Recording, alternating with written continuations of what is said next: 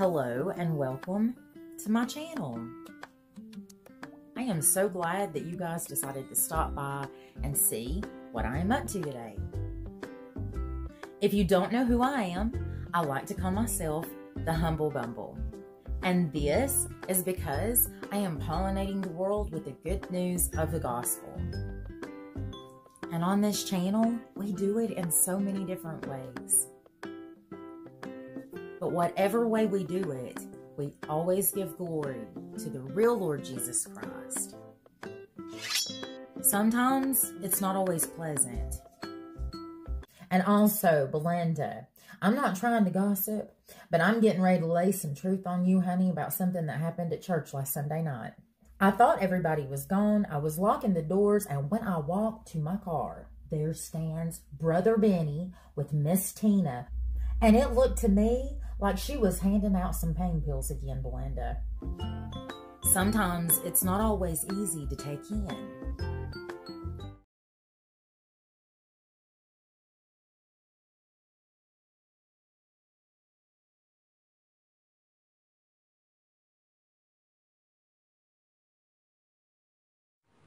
Father God, you know my heart, you know my life.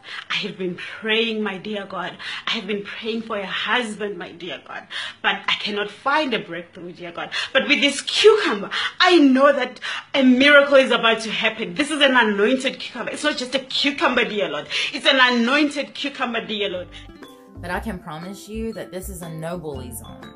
So whatever I do, I never want to bully anyone sometimes I might shock you. This have contaminated religion. See, a lot of us don't know the impact that imagery has. Oh, yeah. Amen.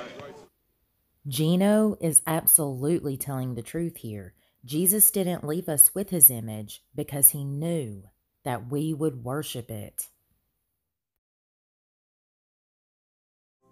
I remember how I found out about idolatry. And I have not talked about this yet on this channel because I learned it from a man that I can't even agree to disagree with.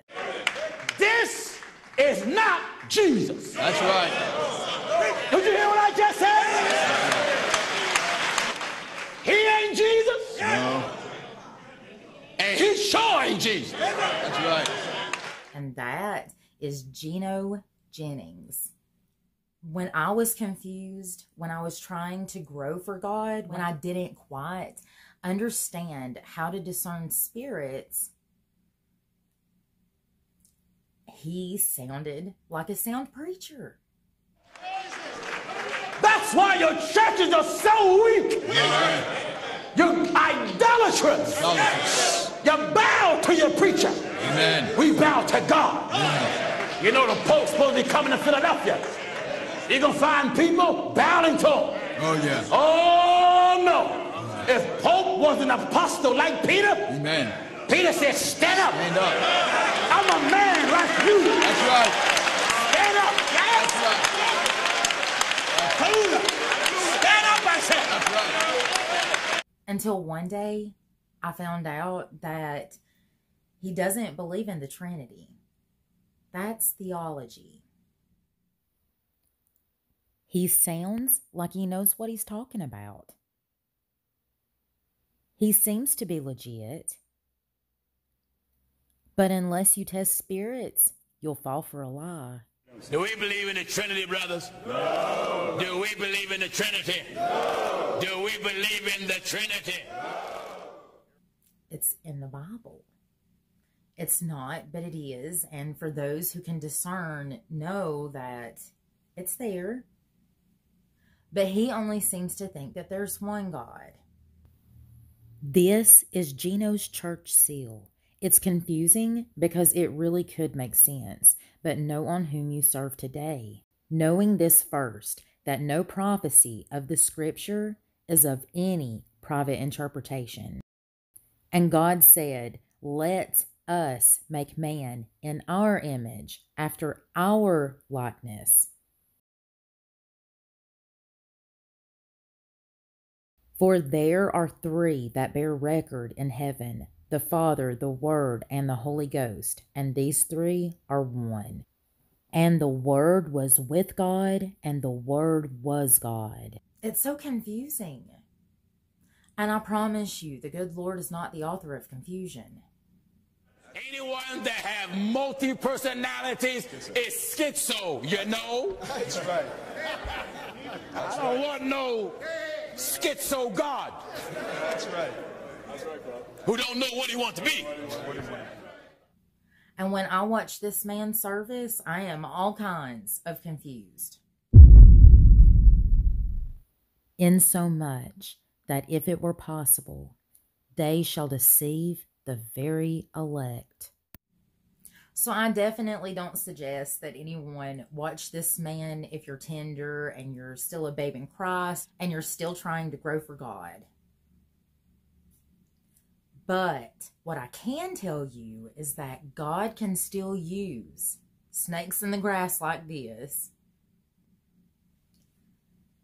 to help people grow. And he used Gino Jennings that day to help me go down a rabbit hole so that I could grow. I said that's not Jesus.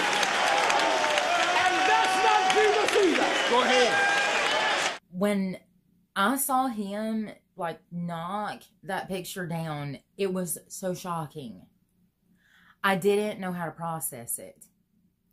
But I remember that the good Lord had laid it on my heart at that time that I didn't need to get offended right away and I needed to, you know, literally read into things more. And so, like I said, I ended up going down another rabbit hole. And I found out that that man that we seem to think is Jesus is not Jesus. I remember I had a picture that I used to keep in my house and after my mom died, she gave it to me. It was a beautiful drawing of Jesus and it was in a beautiful frame and I remember it was the last thing on the wall anytime that I moved and it was always the first thing on the wall anytime I moved in. I thought I was doing the right thing. Sometimes I would even pray and I would pray in its direction.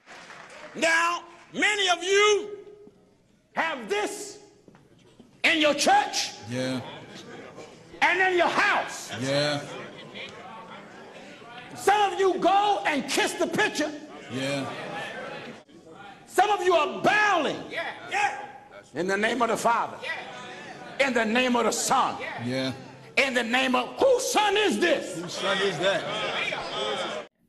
And in my own special way, I thought I was praying to Jesus Christ. I did it with the best of intentions. There is a generation that are pure in their own eyes and yet is not washed from their filthiness. Strive to enter in at the strait gate, for many, I say unto you, will seek to enter in and shall not be able.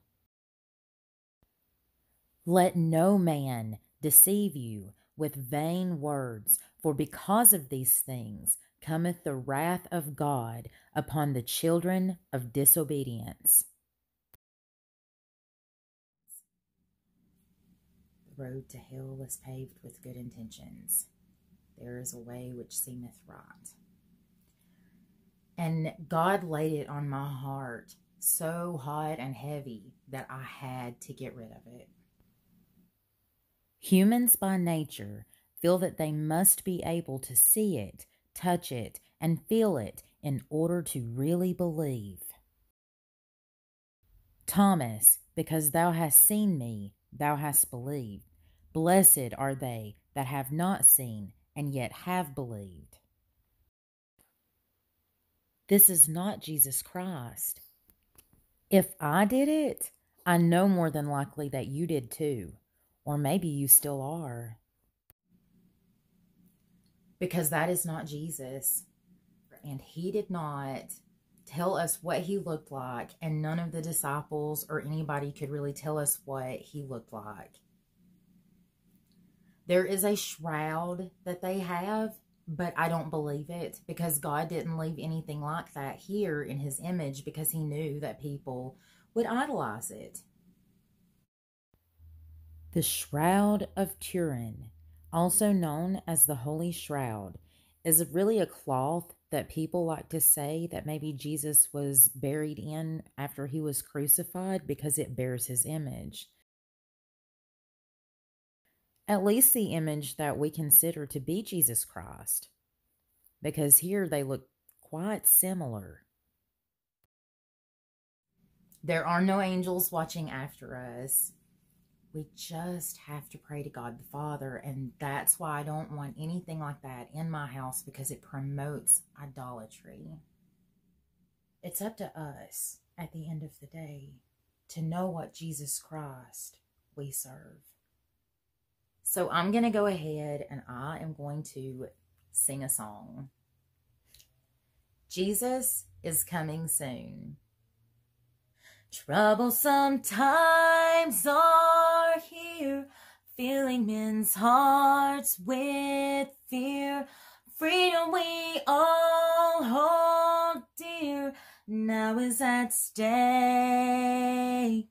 Humbling our hearts to God, saves from the chastening rod. Seek the way pilgrims trod Christian awake. Jesus is coming soon, morning or night or noon. Many will reap their doom. The trumpets will sound, shall rise, righteous made in the skies going where no one dies, heavenward bound. Troubles will soon be o'er, happy forevermore, when we meet on that shore, free from all cares. Rising up in the sky, telling this world goodbye. Homeward we then shall fly, glory to share. Jesus is coming soon, morning or night or noon. Many will meet their doom. The trumpets will sound. Then all of the dead shall rise. Righteous meet in the skies. We're going where no one dies. Heavenward bound. Thank you so much for sticking with me. And thank you so much for being a part of what God is doing for me and my ministry. I love each and every one of my subscribers and my new subscribers. I want to thank you so much. I hope that someone out there grows for God today. And if you haven't, would you please consider subscribing and being a part of what God is doing in my ministry? I want to tell each and every one of you that I love you. I really do, from the very bottom of my heart. And I hope you have a beautiful and blessed day.